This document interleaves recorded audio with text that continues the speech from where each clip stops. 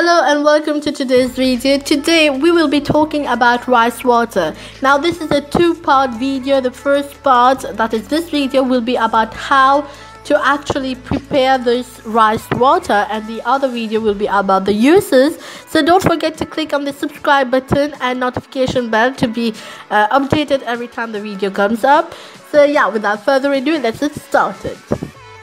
Rice water is full of vitamins and minerals that are wonderful for both hair and skin, something women in Asian cultures have known for centuries.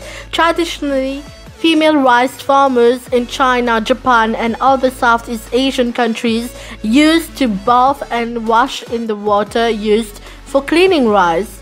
Now, the next time you make rice, don't throw away the water. It turns out it's one of the most cheapest way to pamper your skin and hair.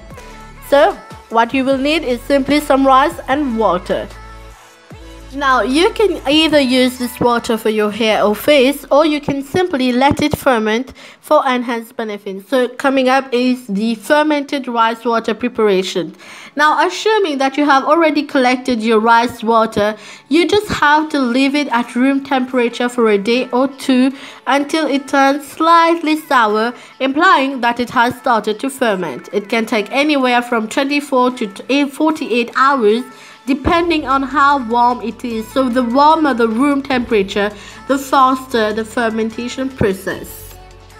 Now, a simple disclaimer is that fermented rice water is very potent.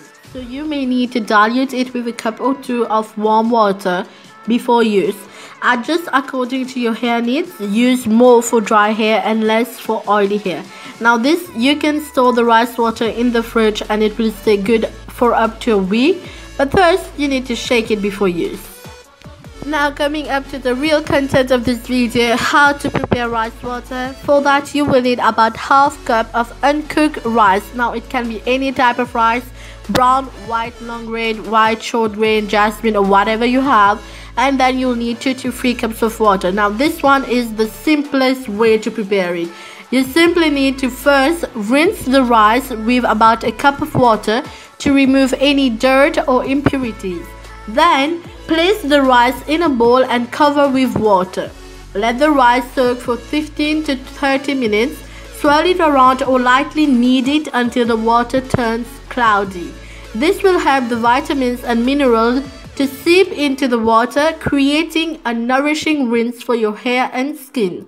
Now you simply need to strain out the rice water into a clean bowl and your rice water is ready to use.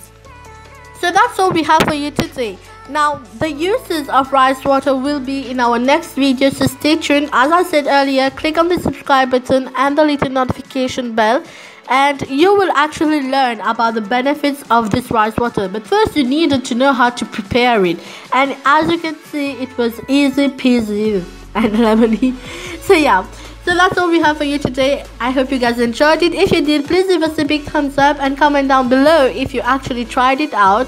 And also do not forget to click on the subscribe button as well as the little bell down right there.